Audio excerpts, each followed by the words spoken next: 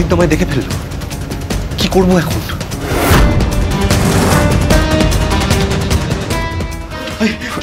কি হয়েছে? এখানে আগুন লাগল কি করে? এই সিকিউরিটি সিকিউরিটি ম্যানেজার স্যার ভিতরে রয়েছেন আপনি দরজাটা খোলার ব্যবস্থা করুন। আরে হ্যাঁ সে বুঝছি কিন্তু ম্যানেজারের ঘরের সামনে আমি আপনাকে সবটা পরে বুঝিয়ে বলছি আপনি আগে দরজাটা ভাঙার ব্যবস্থা করুন ম্যানেজার চলো চলো চলো আসুন আসুন শুরু করুন।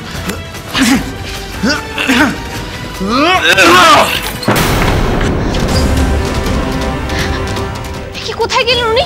সমীরণ বাবু কোথায়? সমীরণ বাবু কোথায়? এই সিকিউরিটি সিকিউরিটি জলদি জলদি জলদি! সমীরণ বাবুকে খোঁজো তাড়াতাড়ি তাড়াতাড়ি! অর্জুন বাবু উনি কোথায় গেলেন? আমি তো একটু আগেই দেখলাম উনি ঘরে ছিলেন। হ্যাঁ বলুন। ম্যাডাম ফড়িং আর অর্জুন বলে ছেলেটা আবার এসেছে। হোয়াট হ্যাঁ ম্যাডাম।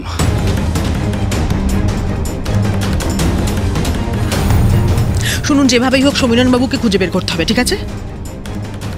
আর আর কে আগুন লাগিয়েছে সেটা খুঁজে বার করার চেষ্টা করুন। যেভাবেই হোক পুলিশকে খবর দিয়ে হোক সিসিটিভি দেখে হোক যেভাবে হোক। আর একটা কথা লিসেন টু মি যেহেতু সানসেট হয়ে গেছে হরিণকে কোনো ফিমেল সিকিউরিটি দিয়ে এবং ফিমেল কোচ দিয়ে আপনাদের অফিসে কর্নার করুন লক অ্যান্ড কী করুন হ্যাঁ?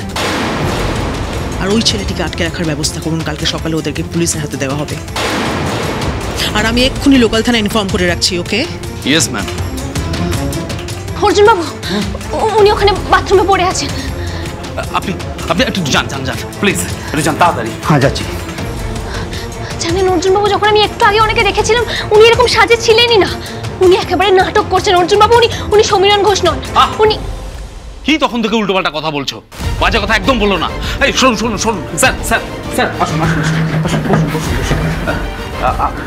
আপনি আপনি ঠিক আছেন তো স্যার? মানে ডাক্তার ডাকবো? না না আমি একদম ঠিক আছি।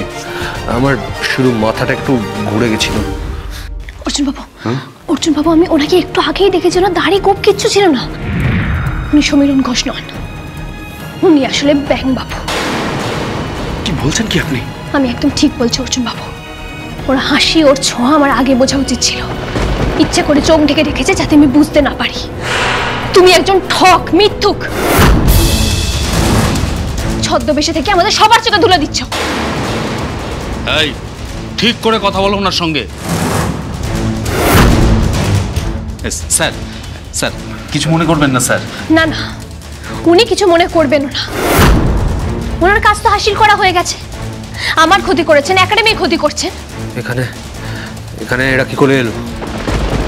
সিকিউরিটি সিকিউরিটি এদের অ্যালাউ করেছেন কেন? আপনার সব মিথ্যে আজকে আমি ফাঁস করে দেব। যতই আপনি পায়তারা কষুন না কেন। এই যে আলতাফুরিং নস্কর বাড়াবাড়ি করলে কিন্তু আমি কি করবেন হ্যাঁ? কি করবেন যদি সাহস থাকে ওনার দাড়িটা টেনে ছিঁড়ে খুলে দিই। তাহলেই বুঝতে পারবেন যে কে সত্যি কথা বলছে। আমি না উনি। এই যে আপনি তো এনার বন্ধু। আপনি এনাকে বোঝান না কেন? দেখুন মহিলা বলে কিন্তু বেশিক্ষণ রেয়াত করা যাবে না। প্রেসিডেন্ট ম্যাডাম কিন্তু জেনে গেছেন আর ওনার অর্ডারও কিন্তু চলে এসেছে। ফরিন এখন আইন নিজের হাতে তুলে নিয়ে কোনো লাভ হবে না। সময় দিন। সঠিক সময় সব প্রমাণ হবে।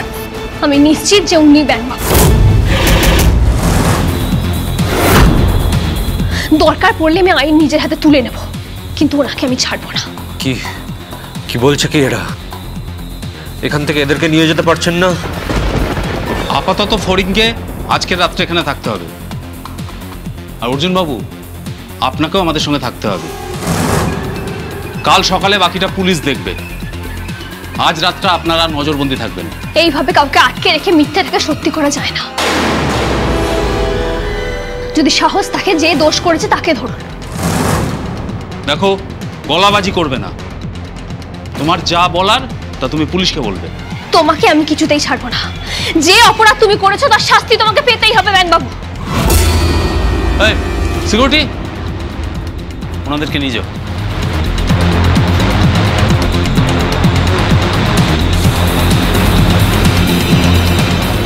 চলুন আমরা যাই। স্যার আপনি আপনি রেস্ট নিন। চলুন।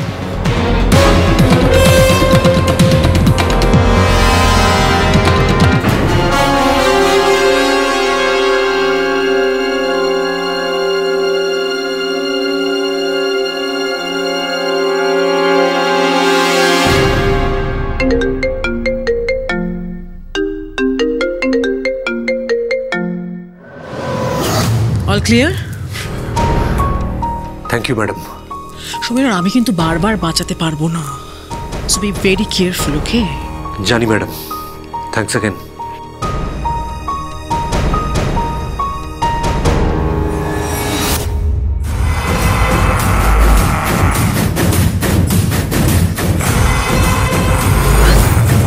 আজ না হয় কাল ওদেরকে তো পুলিশ ছেড়েই দেবে।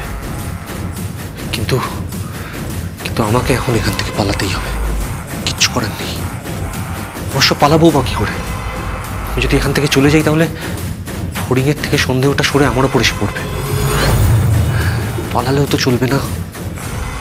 না না, যা হবে পরে দেখা যাবে। এখন আমায় এখান থেকে যেতেই হবে, পালাতেই হবে।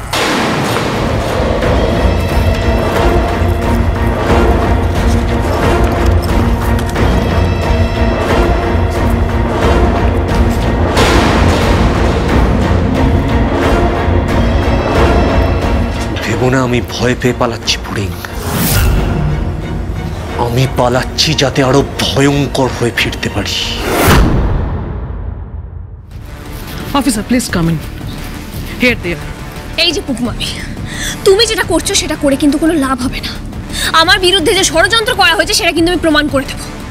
আর ওই ম্যানেজার যে আসলে ম্যানেজার নয় সেটা তো তুমি খুব ভালো করে জানতে। হোয়াট কি ননসেন্স কি বলছে তুমি জানতে না? তুমি জানতে না যে ওই ম্যানেজারই আসলে ব্যাংকবাবু? তুমি জানতে না যে অভ্রদীপ চ্যাটার্জি ম্যানেজার সে যেখানে রয়েছে? What nonsense Abhradeep Chatterjee means your husband যিনি অনেকদিন ধরে অ্যাবসক্যান্ডেড টাকা জালিয়াতির কেসে। আপনারা কেন ফোরিং এর কথা শুনছেন অফিসার উনি আমাদের ম্যানেজার সমীরণ ঘোষ। উনি কেন বাবু মানে অভ্র হতে যাবে? আর অভ্র হলে আমি চিনতাম না। কি আশ্চর্য ফোরিং আমি না অভ্রকে তোমার অনেক আগে থেকে চিনি ইনফ্যাক্ট জন্ম থেকে চিনি। একদম সেই কারণেই আমি কথাটা বলছি। তুমি যখন ব্যাংকবাবুকে ছোট থেকে চেনো, তাহলে তুমি কি করে চিনতে পারলে না? এখন তুমি চিনতে পারোনি নাকি? চিনেও না চেনার ভান করেছ, সেটা সম্পূর্ণ তোমার ব্যাপার। অফিসার আপনারা এক্ষুনি ম্যানেজারের ঘরে গিয়ে দেখুন। আমার ধারণা যদি ভুল না হয় তাহলে উনি পালিয়েছেন।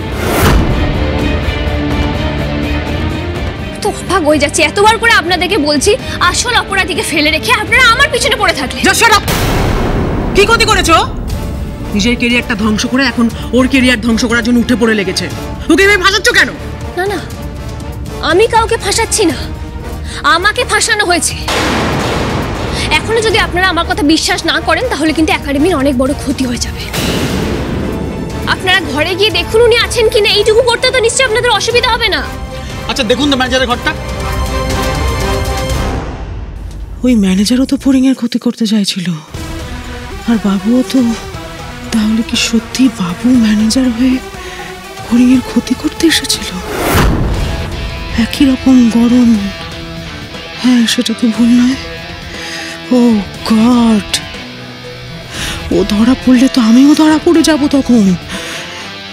আমি বাবু, আমি বলে তো ওরা আমাকে আরও বেশি করে জড়িয়ে ফেলবে। আলতা ফড়িং।